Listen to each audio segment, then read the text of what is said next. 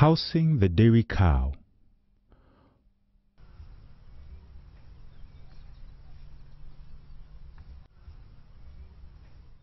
Wouldn't you like to come home to a clean house every day?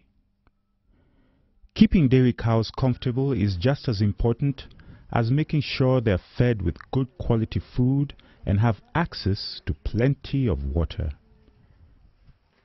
When the animals are fed on zero grazing, there is some savings in the terms of the, on the side of feed, because the animal eat everything, and uh, whatever remains is very little, it's negligible. Unlike when the animal is grazing in the field, where it uh, dung almost everywhere, it doesn't feed from that area. An animal that is uh, doing a lot of work scavenging for food requires more energy than an animal that is housed. So that means that uh, the animal has, uh, has more allocation of nutrients to growth and milk production as opposed to an animal that is, uh, is scavenging for feed. Dairy cattle housing is of huge importance to, to, to a farmer. Uh, one is that uh, there is close monitoring. The farmer is able to, to monitor the, the conditions of the animals because they are within the homestead. Two is with regard to security. Again, when you, the farmer keeps the animal in a zero grazing unit, there is that security of the animal. The animal, the cows stay alone in their, their own house. No dogs or stray animals that come into, into the unit. So the, the chances of the animal getting diseases like ECF are very rare. One of the most essential parts is the cubicles, and the cubicles are, are, are form one part we call the resting area. Then the second important part is the walking area, the area that the animals stand on when they are feeding, and also the area where they, they at least can be able to access and, and, and, and uh, to get access to, to sunlight. The other one is the is the calf pen. Uh, is a very important aspect, the dairy unit for the calf. Uh, when you talk about the calf pens, although we may have the calf pens within uh, the zero grazing unit, other farmers also may want to have uh, calf pens outside. Uh, in cases where the number of animals are very many, it may require that the farmer has a calf pen or several calf pens outside. Uh, the farmer then has to milk the, the, the animals, uh, the cows which are lactating, and the milk is taken to the calves which are kept outside, uh, which is also a recommended uh, system uh, for, for dairy uh, production. Also of huge importance is the, the milking parlor. That's the milking place. And this is uh, made out of one of the cubicles and uh, is specifically fitted there for milking. Also of huge importance is, is the store. And this is where the, the, the farmer is able to, to store some of, of the drugs, uh, to store some of the, the concentrates or the minerals. Then also very huge importance also is the fodder chopping area. This is the area where the equipments for chopping, the, the fodder material, are, are kept in, and this is also where the physically the activity of chopping uh, is undertaken.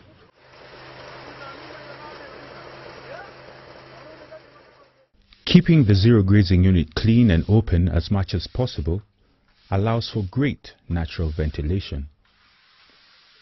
The floors of the pens should be textured cement. This makes it easy to clean the manure and urine from the pens, while the texture keeps the floor from being too slippery for the cows to stand on. How do we build a zero grazing unit? To prevent high investment costs, make use of local materials as much as possible from the farm.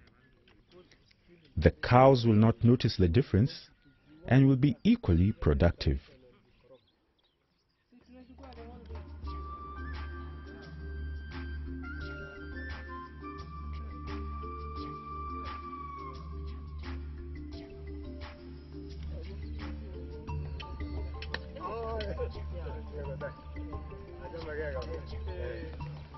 The house should be sited in a way that uh, the smell, the gases that are going to be to be generated as a result of the wastes don't reach the homestead.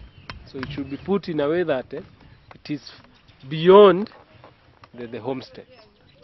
Then also it should be put in an area where uh, which has uh, sufficient drainage.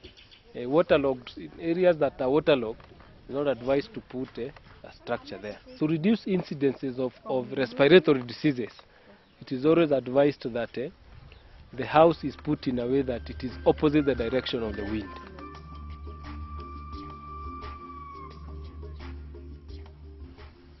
It is recommended that the walking area should be 10 feet long, as this gives enough room and space for the animal to move around and maneuver when it is uh, feeding. The size of the feeding and the water trough, they are 2 feet wide, and that means that in total, the width of our zero grazing unit is uh, 19 feet.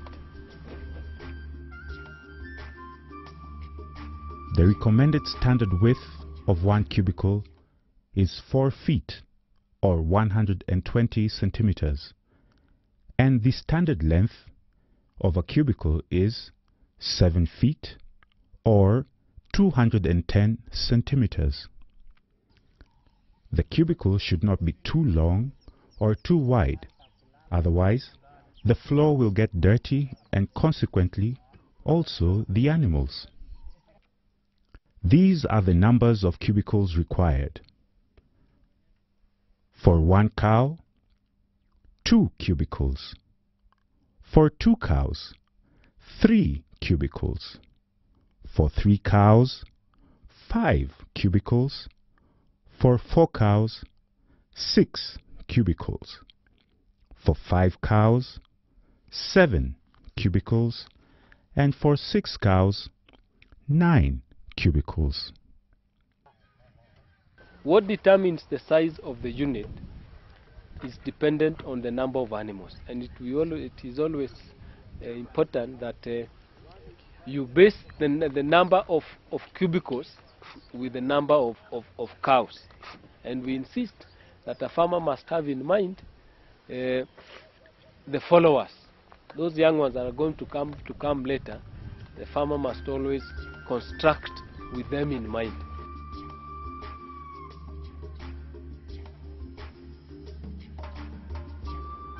The feed troughs is also of huge importance and is divided to make sure that uh, the cows and the small ones, the weaned calves, they don't share the, the feeding area. Then in the middle, you have the water trough, which is shared by the by both the mature cows and the, the young ones.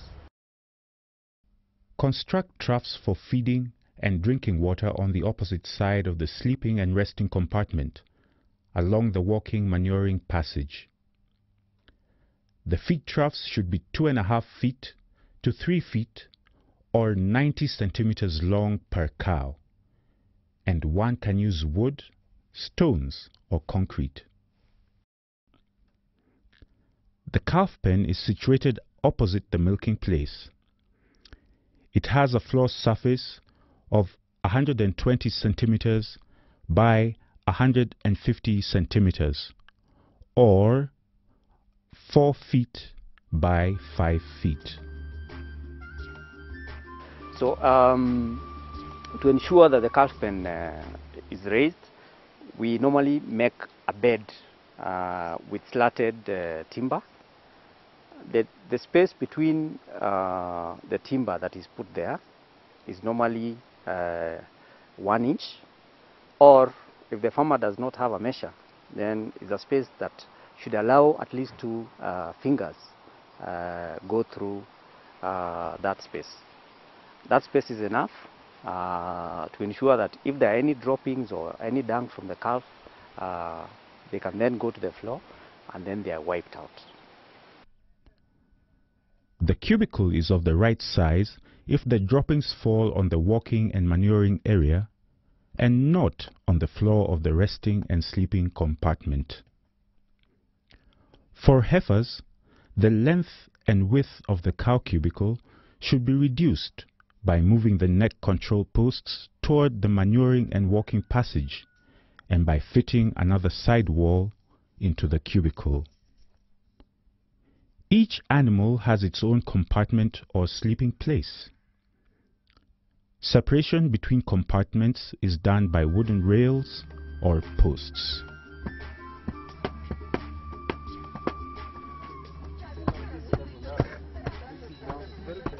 Floor of the house can be constructed from ordinary soil from the farm. Soil is cheaper and much more comfortable to the animal than concrete or stones. The soil can be replaced if dirty or worn out. The floor of the sleeping place is raised 25 centimeters above the level of walking and the manuring passage.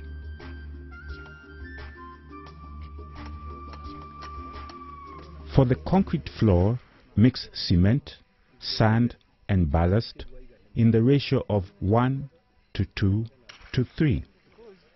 That is, for one bag of cement, add two wheelbarrows of sand and three wheelbarrows of ballast. The floor should slope toward the end of the building where manure is stored in a pit about 3 to 5 meters away from the stable.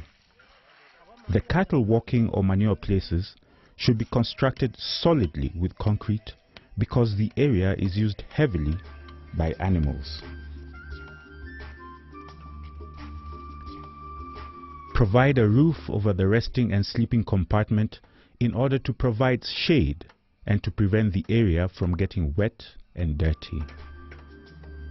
For water catchment purposes, the roof is made in such a way that it is able to collect water. For the case of the cubicles, the front poles are at a height of 2 or 5 centimeters.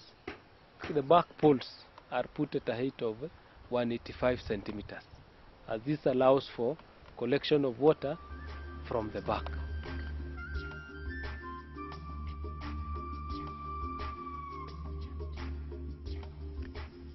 Allow free stalls with spaces that are large enough for one cow at a time, separated by large railings.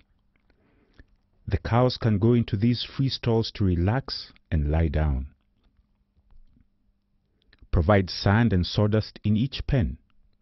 Each pen has two rows of free stalls facing each other with no barrier between the rows. Some farmers even provide mattress bedding in each stall. The cows can lie down and take a nap or chew cud, or they can get up and walk around, get a drink, have a snack, or go visit their other friends.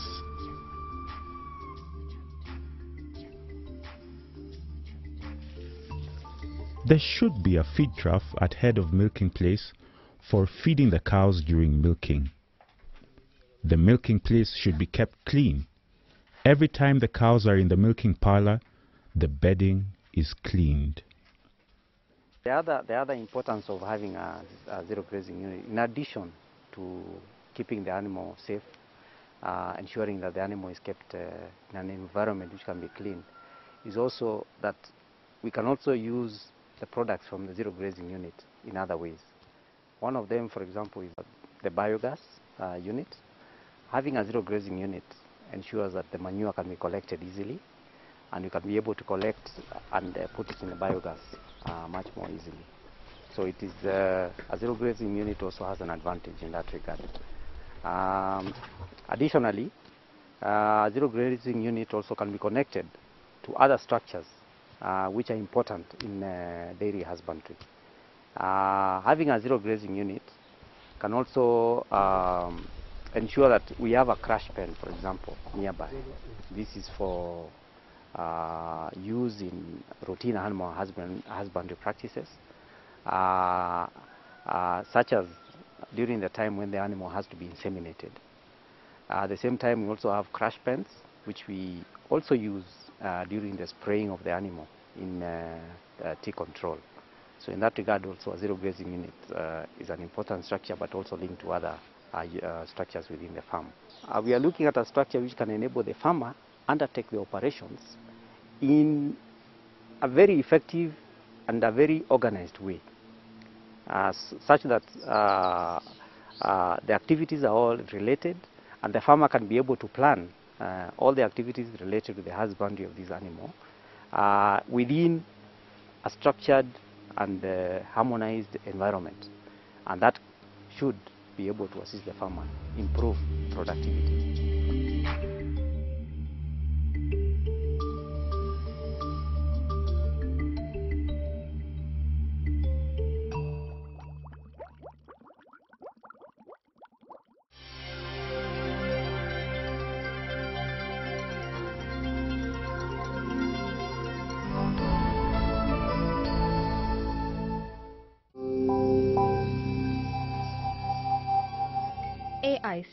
Watch more agricultural documentaries at www.youtube.com forward slash AIRC video unit.